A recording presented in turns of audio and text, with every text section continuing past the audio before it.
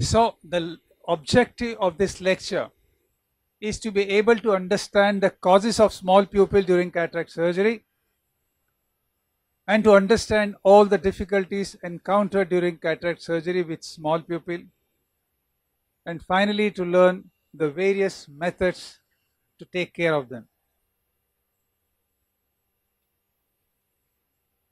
We all know the common causes of small pupil as we touched this topic yesterday. You can make it out by the picture there. The, the top one shows you a chronic uveitic case with uh, severe amount of uh, posterior. And the lower one clearly shows you uh, moderate form of uh, pseudo exfoliation even with age the pupil tends to come down. That's a point we have to remember when we are putting uh, a multifocal lens because sometimes multifocal lens which depend on the pupil they would give bad results as you progress in life. Post uveitic cataract obviously with post synechia we touched. Even diabetic patients will have smaller pupil. And with floppy iris they may start with a small pupil or an pupil that refuses to dilate fully or a pupil by the time you progress in your surgery starts becoming small is also a big issue. High hyperopes do have and in the olden days when the patient used to be on miotic therapy for glaucoma, they would have such small pupil that pupil just wouldn't dilate at all and doing cataract surgery in those days, we used to do broad iridectomies or um, sector iridectomies and open up the pupil. But of course, if we do it today, we'll do a pupilloplasty. And of course, neurological conditions um, should also be remembered. Now, what are the problems encountered during cataract surgery with small pupil? Literally every step except maybe making a tunnel which doesn't involve entering the eye is affected. And the first affected step is rhexis obviously because if the pupil is very small it all depends on how small is the pupil. If it's 2 millimeter 3 millimeter you will not like to do a rhexis which is 3 millimeter size. If it's 4 millimeter and you, are used to making a 4 or 4.5 millimeter through a 4 millimeter with some experience you still can make but by and large pupil is definitely a problem because you can have some ill judgments in the size shape and you wouldn't even know if it's extended too much into the periphery. Hydro procedure there's inability to judge the correct dissection plane leading to difficulty in rotation of the nucleus Ideally, when you do phaco, first the most ideal step in hydrodissection is cortical cleaving hydrodissection. Now, cortical cleaving hydrodissection will create a plane between the capsule and the entire um, cortical matter along with the nucleus. And to do that, you have to just try and go under the rhexis, tent it up a little, inject it so that the fluid wave passes right across and comes out from the next. What it does is you need to do minimal amount of hydro dissection and once the hydro dissection is done it rotates on its own but the major part is at the end of phaco you are left with very little cortex to be removed sometimes with a good cortical cleaving hydro dissection you may not have to do cortical wash because most of the cortex and epinucleus comes along. And the major brunt of this problem is borne by the phacoemulsification technique itself. The smaller the pupil, obviously your red reflex is poor and red reflex to a large extent controls or guides a phaco and that you understand when you have to operate with no red glow. Meaning, if you have set your microscope on an oblique light by mistake and you are not getting a red glow, even in a soft cataract, you find it difficult to find the judgment. Suppose you have a patient with vitreous hemorrhage where there is no glow and you still have to continue with your phaco, it is a difficult task. Similarly, when the pupil comes down, the first thing that happens is the glow goes away and it's difficult for phaco because these are some of the impediments to proceed well in phaco.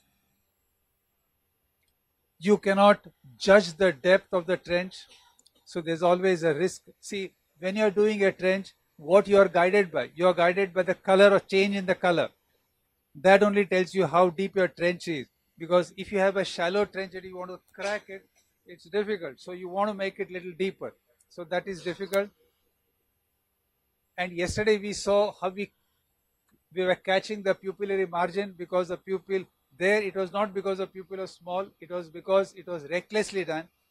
But if you even if you are careful in a small pupil, you are bound to catch the iris. The moment see it's a vicious circle. The moment you catch catch the iris, iris gets irritated, the pupil further comes down and it creates a problem. And inadvertent capsular catch or capsular trauma with chopper. And very often, as a beginner, you are requested to stain every capsule. That's because one, by staining, you can it helps you do your exercise. But the major part is if you have stained your capsule and when you're chopping, very often even an experienced surgeon with a sharp tip chopper will directly go on the capsule and tear it. And in a small pupil, you're bound to do it. And to help you that, you know, uh, avoid that, sometimes it's better to stain so that even by mistake your chopper is going on the capsule, the staining will prevent you from doing it.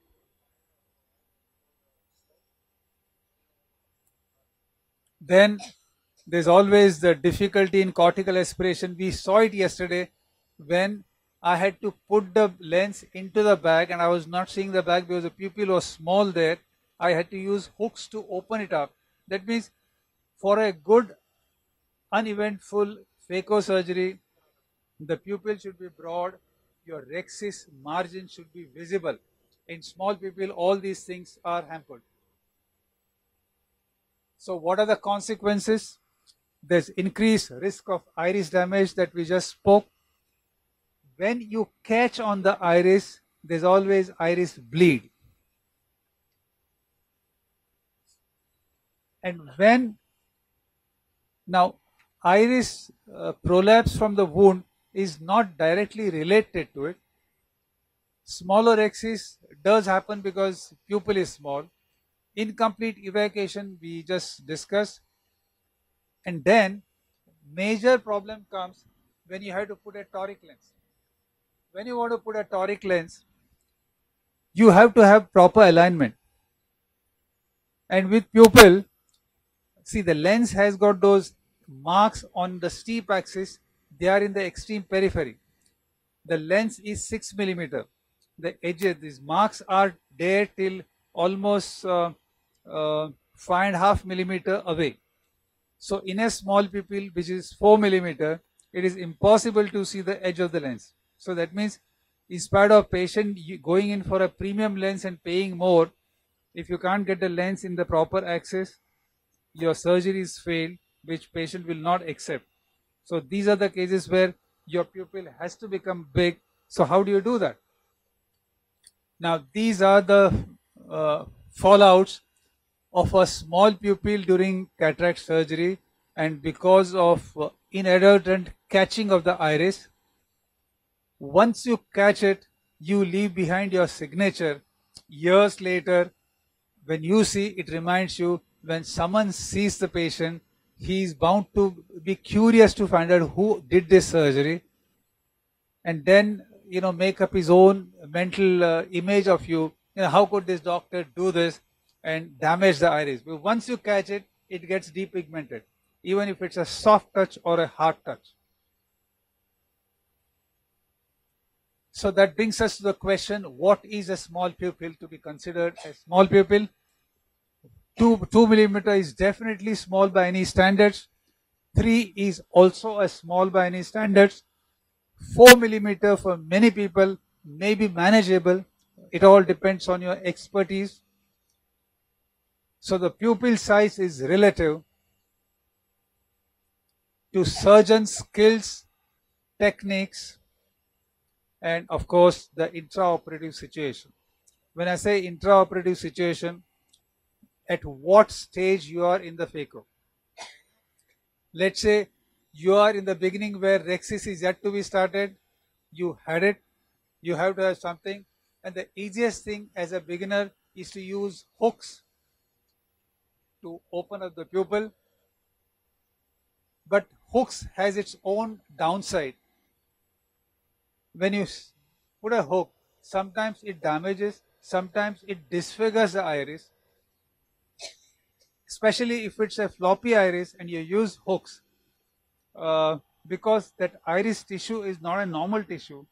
Uh, you know, it, it always has a tendency to below and get into your uh, uh, side ports or into the main opening.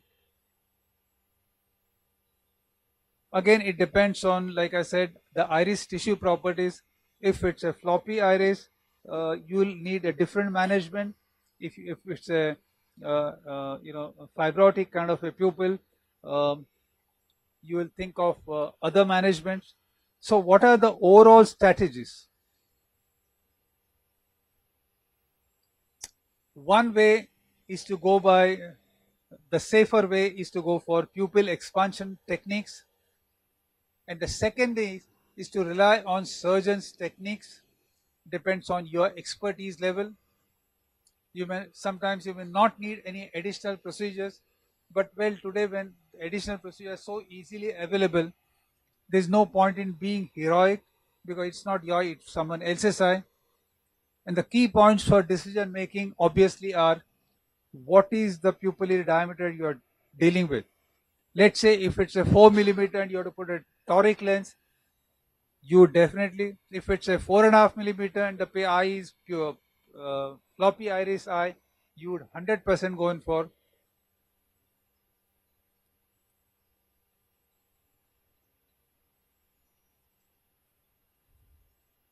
So the surgeon's skill techniques obviously would depend once you have done your rhexis, how do you proceed with phaco?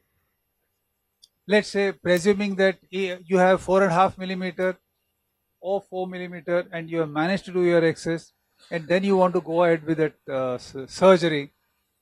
First and foremost, you can use a visco adaptive uh, uh, viscoelastic like uh, Healon5, which has the mechanical property just by injecting, you can open up the pupil. And even Hico, is not able to do that, but in that respect, Visco Adaptive, that is Healon5, is an excellent uh, dispersive viscoelastic. Technique wise, you can decrease the fluid parafluidic parameters. Now, what are fluidic parameters? That that brings us to phaco-dynamics. Like yesterday we discussed, the fluidic parameters will be bottle height, aspiration flow rate, vacuum level, the power. These are the four um, fluidic parameters. So what all can you do? You can lower the bottle. You can decrease the aspiration flow rate. You can decrease the vacuum. You know, by that, the turbulence in the eye is reduced. There are several techniques. One for phaco making. One is the trenching. With a small pupil, trenching is difficult, so it is out. Then comes phaco chop or stop and chop. Even so, stop and chop cannot be done because you have to do a trench there. Then comes phaco chop. In phaco chop, you have two, either it's vertical chop or a horizontal chop. For a horizontal chop, your chopper has to travel to the equator of the nucleus and come back. And here, because it's a small pupil, you cannot do horizontal chop. That means you are left with a technique where you're going to use, uh, do something only within the central portion and the central portion uh, can be handled only by a sharp tip chopper in the center and the technique is called um, vertical chopping technique and very often I have realized that once you start doing phaco and the pupil comes down and it's too late for you to stop phaco and go back to putting a ring or hooks. What we have done is engage a piece, do a vertical chopping, get it into the AC and do a AC phaco. Ideally, you would do a in the back phaco. As a rule, all the phaco should be in the back. But in this case, you have to bring it into the chamber. If you have to bring it into the chamber, you have to first have a good viscoelastic in the chamber to coat the endothelium. If you decide to put Healon, now Healon, the moment you start phaco, uh, it's going to get absorbed. Now we have to remember one thing. It's always a confusion in the bite. What is the what is the viscoelastic do I use for phaco? Right when only visco, Healon was available, we would vouch by it. But we have realized you inject viscoelastic, you start phaco, the moment you go into aspiration, first thing that gets absorbed is Healon. Instead, if you use methyl cellulose, which is not as much cohesive as uh, it's more of a dispersive, it stays there. Although that's not ideal one. The ideal one is sodium chondroitin sulfate, which is viscoat. If you put viscoat, it stays there. So in this case, what you do is when you decide that I have to go into anterior chamber phaco, come out, inject viscoelastic like viscoat, get it, you know, um, almost to coat your endothelium and then go with your phaco. That will uh, at least not put endothelium to additional danger because you are getting the pieces into the anterior chamber. As a rule, phaco should never be done in the anterior chamber, but here you have no choice but to do it. And obviously, the choice between coaxial and bimanual. So bimanual will be, anyway we use bimanual, here we'll have to use bimanual in more uh, consistent way. Because like for me personally, I use coaxial uh, phaco, I mean coaxial uh, irrigation aspiration because I find that it gives you consistently deep chamber and it's quick because the amount of fluid that goes in through a coaxial cannula is much more than what goes through a bimanual cannula. So, uh, you know, that's what I use. But here, obviously, you can't use it because as it is in a large pupil, going sub-incisionally to get cortex out is difficult. And with small pupil it's literally impossible. So, now let's go to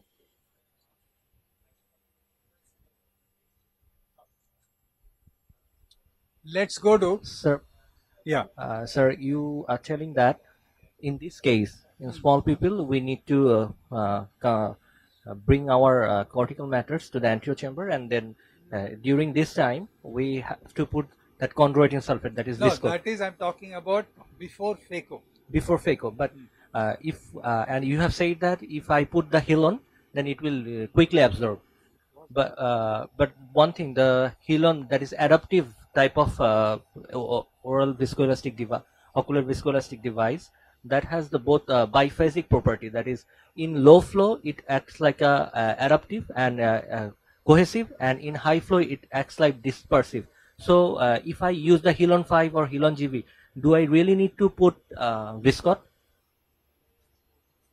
for Healon 5 you Healon- don't need Okay, for uh, adaptive variety, I don't need. no But on, for the simple Healon, I I do need. yeah because it invariably gets absorbed Okay. meaning see when you don't have a choice you can use it but the choice between Healon and chondroitin sulfate is uh, Viscoat. Chondroitin sulfate. Why? For that matter, you can even use uh, methyl cellulose. Even that will stick. Okay. And in fact, it's it's a it's a good habit to be using, uh, you know, like uh, every now and then, maybe at least two three times during phaco as a beginner, you must inject methyl cellulose.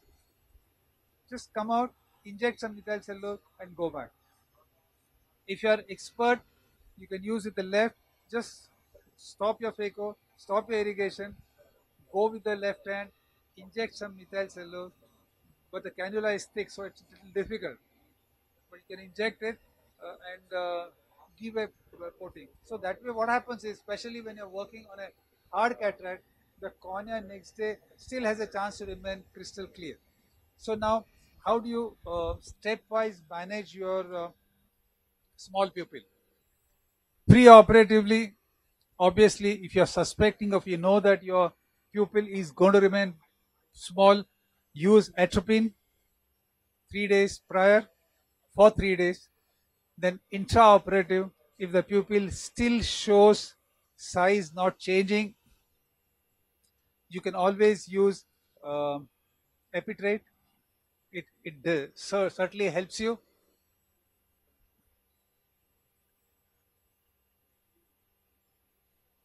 If it still doesn't help, then you always have a choice of Healon5 or Viscoat to further open up the pupil, and the pupil is bound to open up.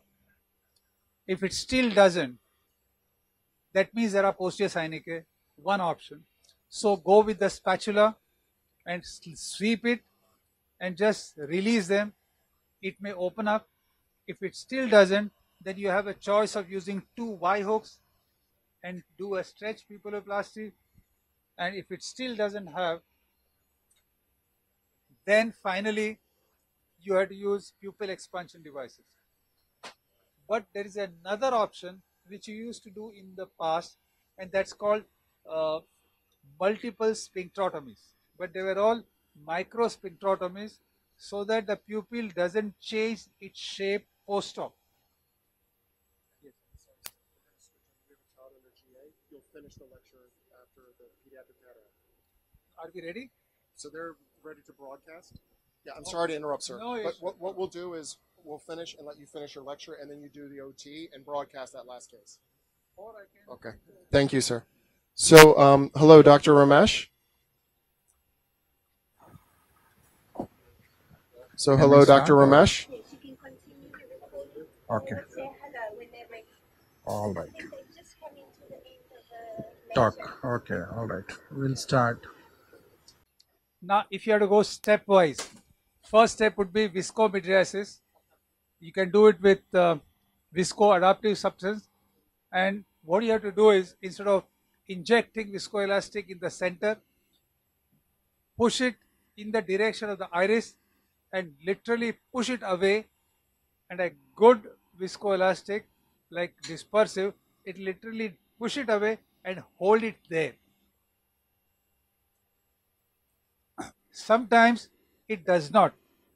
That's because there's a small component of posterior synechiae. So fill the eye with viscoelastic. If you suspect that the entire iris is plastered, find a small gap and through that gap inject viscoelastic and with is viscoelastic you can do visco dissection or else you can just use your spatula to uh, just sweep it so that you can separate the posterior synechiae.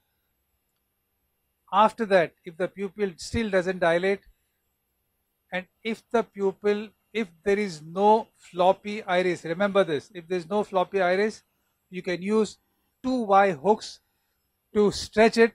It's called stretch pupilloplasty. If it doesn't work, then you're finally left with all these pupil expansion devices. And the simplest one, which some of you might have used, that is iris hooks. Then you have iris ring from Morcher. You have perfect pupil, which is no more used. Then comes Malyugin's ring, which is very commonly used. Then we have BHEX pupil expander, which is just across your border at from Kolkata by Josa Surgical, and it's an excellent pupil device. Then we have a new one which is called APX pupil expander, which is also from Dr. Asia. It's a nice piece. Here we are talking about, we are seeing a picture of how a hook is used. And when I later on, either today or tomorrow, show some film, I'll be more pleased to show you how iris hooks can be used for more than one purpose. There was one thing that was missing, and that was multiple sphincterotomies. And I'll uh, show you this film.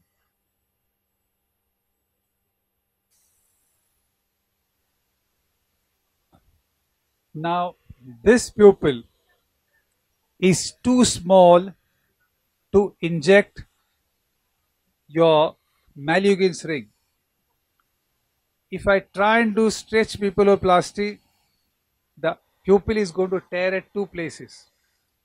Without tearing it, if I still want to keep the circular pupil, I just have to make very small multiple sphincterotomies, stain the capsule, load the ring under the viscoelastic, get the Malyugin's ring into the AC. It requires some practice. It requires you to be ambidextrous.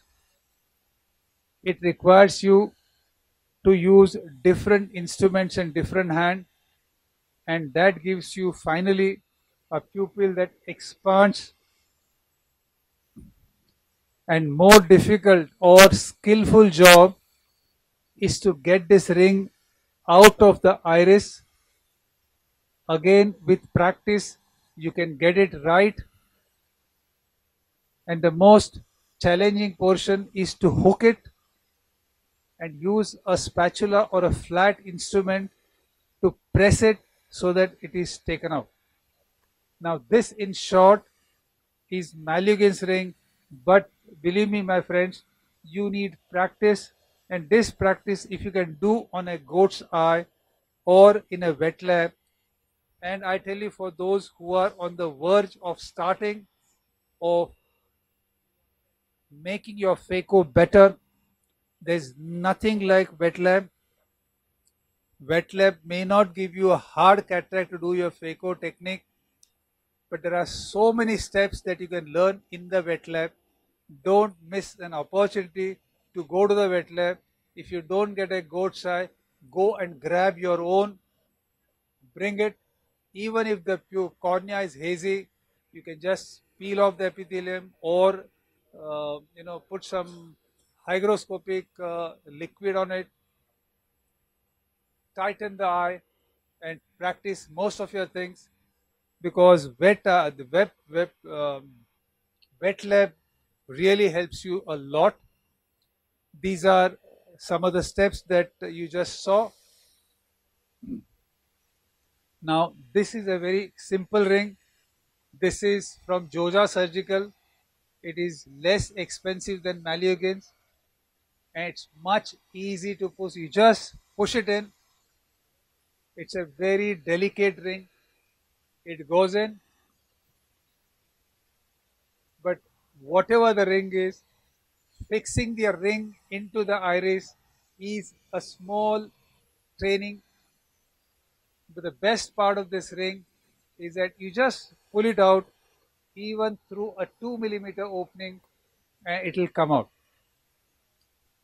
But this part requires some practice. And once you have the ring in place, look at this, with single hand. You just pull it out. It comes.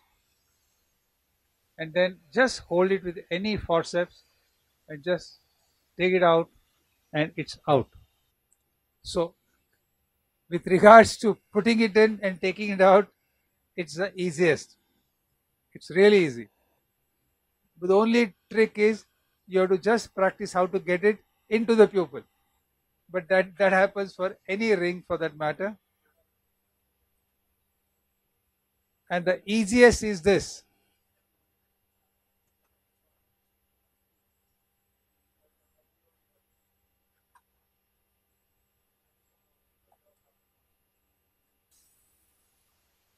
This is called Assia's uh, pupil expander, one of the easiest one.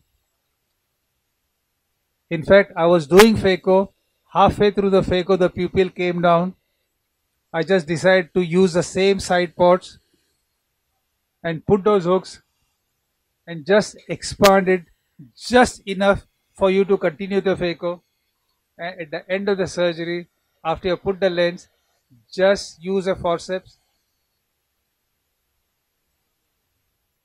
and get it out. Isn't it very easy? Huh?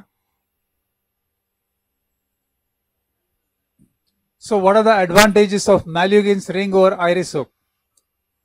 Although it has four points, it's actually eight points because between the two points there's a portion where also the uh, this particular ring helps you expand.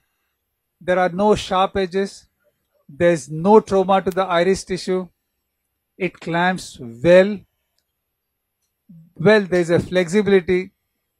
There's no need for extra paracentesis but hooks are have some advantages over the Malyugin's ring.